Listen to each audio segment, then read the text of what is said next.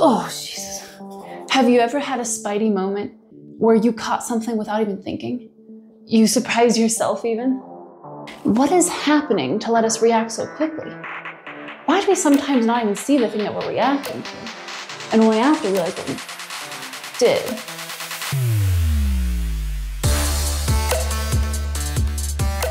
We're going to see how to improve our reaction times and how this differs from a reflex. This is good for athletes or gamers who need to respond to fast-paced dynamics. It's also very relevant to anyone who wishes to improve their reaction times for everyday life, such as driving or for catching that egg that's about to roll off your counter. There's a lot in this topic, so we're gonna split this up into two videos. This is part one, where I give you the science and foundational pieces to understand reflexes and reactions and how they differ from each other. In part two, we'll take a look at some studies that have uncovered a very interesting fact about our reaction times. You'll also learn how to leverage this knowledge to improve your own reaction times. People talk about having a fast reaction time. Is this the same thing as a reflex though? No, they're different reflexes happen much faster. A reflex is touching a scorching hot pan and reflexively pulling your hand back. Ouch. Now, what's so special about this? Well, this movement is crazy fast. It takes about 15 to 30 milliseconds for you to pull your hand away. That's way faster than it takes for you to blink. A blink can take anywhere between 100 to 400 milliseconds. So your reflexive movement is so fast that it doesn't even wait for your brain to receive the pain signal. So here's how it works. When you touch that scorching hot pan, the temperature in your fingers skyrockets. It passes a certain pain threshold that then signals a pain response. So the nerves in your fingers send a distress signal up through your arm and into your spine. And because this is such a high distress signal, your spine immediately sends a signal back out into your arm, telling the muscles in your arm to contract to pull your hand away from that hot pan. It was an automatic response due to the level of intensity of that pain. That signal also continues to travel from your spine up into your brain so that your brain can process what just happened. But by the time that signal reaches your brain and your brain's had time to process information, your hand is already well away from that terribly hot pan. Reflexes happen so quickly because they bypass the brain entirely. If the brain was involved in a decision, it would take a lot longer. That's because the brain is computing so much information that it just takes time to register what's happening. So thankfully, your body already has automatic response mechanisms that are installed that don't rely on your brain. Now, what about a survival situation that requires using the brain? How does the body react fast enough if the brain is involved? Well, your brain has found ways to bypass the slower parts of itself. Uh, let's see an example. Let's say you're walking across a busy road and then you realize that there's a bus headed straight for you. Somehow the driver hasn't seen you and you've got to react quickly. In this case, you have to see or hear the bus to know it's coming right at you. These senses are processed by your brain. So there's no way around your brain in this case. Let's say there's lots of traffic noise, so it's really just your eyes that are detecting the bus's approach. Let's take a closer look at how sight works. This will help us see just how long it takes for our brain to process visual information.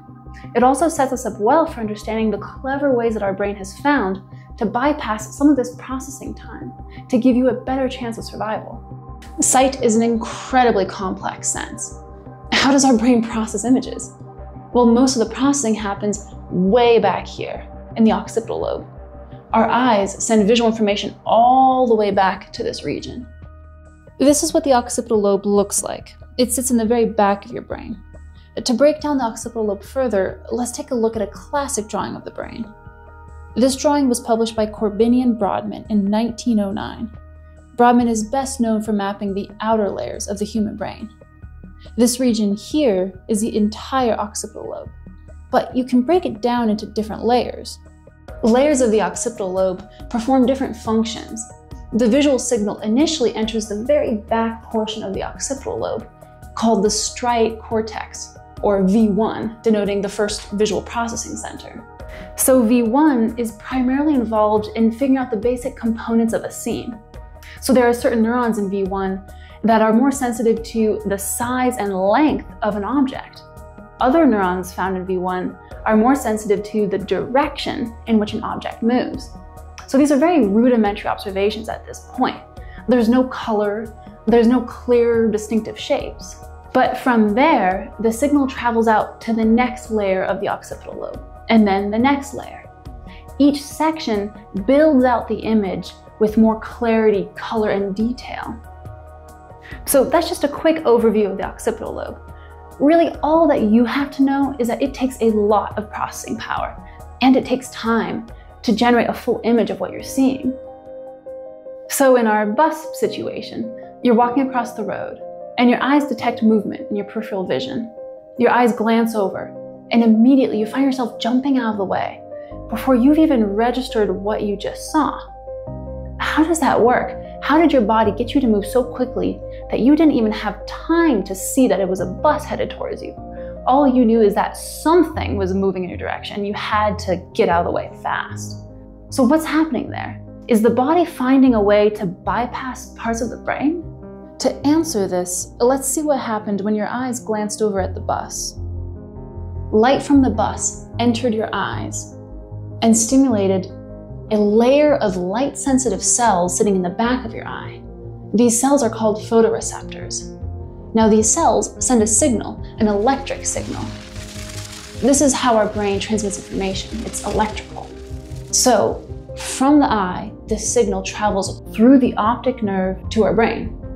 Now, from there, the signal travels all the way back to the occipital lobe, so you can process the visual information, right? And that's what we just talked about. But the signal takes a rather interesting path to get there. Here's a top down view. You'll see that the left side of your right eye travels to the left side of your brain, and that the right side of your right eye travels to the right side of your brain. And the same thing happens in your other eye. Now, this is pretty wild, right? But this isn't the crazy part that I want to tell you about. Look closer at the path there's something in the middle of your brain that the signal has to travel through before it reaches the occipital lobe. This thing we're seeing is called the thalamus. The thalamus is super important. It's basically the gatekeeper for sensory information. It's the relay station for this information to travel through, for sight, sound, touch, taste, but not smell. All senses aside from smell travel through the thalamus. Now, the thalamus is key to helping us dodge that bus so quickly. It's found a way to instigate a fight or flight response before our occipital lobe has even had time to process the visual information. How? The thalamus seems like it can actually interpret some of the visual information coming from your eyes. Now, not to the same granularity and detail that the occipital lobe can do, but it seems like it can gather enough information to know whether you need to start running because there's something headed straight for you. And it can do this a lot faster than what the occipital lobe can do. So if the thalamus registers that there's a threat to your body, it sends a distress signal to parts of your brain and body to spike your adrenaline and to prepare you for running. It initiates a fight or flight response before your occipital lobe has even had time to process this information. This is how you can bypass parts of your brain, the slower parts, in more of a survival situation. So this fight or flight response completely takes over your body before your rational mind even knows what's happening. And before you know it, your body is running on its own accord before you've even figured out what just happened. Yeah, your body left your rational mind in the dust. Now, your rational mind will eventually receive that information. While that fight or flight response was being triggered, your thalamus was sending the information back to your occipital lobe, but also up to these outer, more rational parts of your brain. These outer layers are called the cortex. Cortex literally means bark. So these outer cortical layers take time to process information. They're considered to be the newer parts of our brain, the more recently evolved parts. And they directly contribute to our ability to make calculated decisions or problem solve or plan or even abstract thought. Now, these outer layers are usually more accurate and better at figuring out what's happening in our environment compared to the thalamus. But they take time. You know when you get spooked? Like you hear a loud noise and you jump. And then a moment or two later, you realize that it was just a door slamming closed. Well, that amount of time that it took for you to realize it was just a door is how long it takes for your rational mind to catch up to your body, for the outer cortical layers of your brain to receive and process that information. If you weren't in a survival situation, your brain would likely wait for these outer regions to process your surroundings before making a movement. This gives you more time to plan a well coordinated movement, which can help reduce the chance of injury. So, how long does it take for you to react when you're using your cortical regions in a non survival situation? Well, for a visual cue, your reaction time will be about 200 milliseconds. That's for you to process what's happening and to start your movement. Not actually to complete it, just to start that movement. For an auditory response, it's a little faster. It takes about 140 to 160 milliseconds. But when you're startled by a noise and the fight or flight response kicks in, you can initiate your movement in as little as 40 to 100 milliseconds. The fight or flight response depends on more of the deeper brain structures that respond automatically to stimulus. They're considered to be older brain structures, older on an evolutionary timescale. Now, these ancient structures evolved millions of years ago and successfully helped our ancestors evade predators and other catastrophes. So these structures react quickly. So your body has, in a way, found a solution to maintain that reflexive response, that fast, almost instantaneous response. But instead of bypassing the brain entirely, your body's chosen to bypass just parts of the brain, the parts that take a long time to process information. Now, those parts are still receiving information, but in this situation, your body is not waiting around for those parts to give commands. So, to recap, we learned that your reflexes can respond crazy fast to stimuli, such as touching a hot pan. It can take about 15 to 30 milliseconds for this to happen. This is so fast because it completely bypasses your brain. Now, when your brain is required for processing your environment and responding to a threat, the time it takes for you to respond will increase because your brain is involved. But your brain has found ways to save you precious time by bypassing the slower, more computationally heavy parts of your brain, like your cortex. But is there a way to make your normal reaction time as fast as your fight or flight response time without you having to get startled all the time? Some research papers are indicating that it is possible. That's what we'll be exploring in part two. So, you should now know why reflexes are so fast. You should also understand how your brain can save you precious time in a survival situation. With this knowledge, we're going to see how we can hack this survival pathway to help you improve your reaction times by up to 35%. So if you're curious to see how to do this, or if you want to see how some athletes are training this, check out part two, where we'll explore this in depth.